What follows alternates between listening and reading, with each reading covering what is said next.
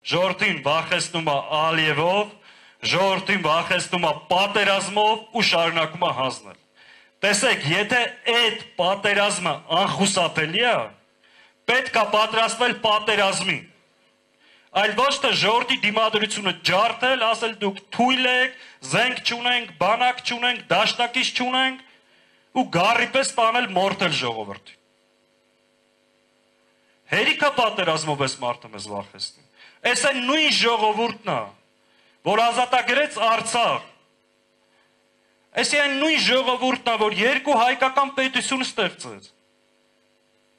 Հիմա հայտնվել է մեկը ասում է, չէ, դա պատականություն էր։ Այն Հայաստանը գաղափարական խորքային բախումը մեր եւ իրա միջև ինչ է ժողովուրդ, որ ինքը ասում է ինչ ուզում է տանք, հետո մի կտորի վրա զարգացնենք Հայաստանը։ Դա կլինի իրական Հայաստանի համար պայքար։ Մենք ասում ենք, եթե դու զիջում ես քո ռազմավարական դիրքերը, զիջում ես քո ճանապարհները, կոմունիկացիաները, այդ պետությունը այս տարածաշրջանում այլևս չի կարող գոյություն ունենալ։ Բայց ինքը խափում է ժողովրդին։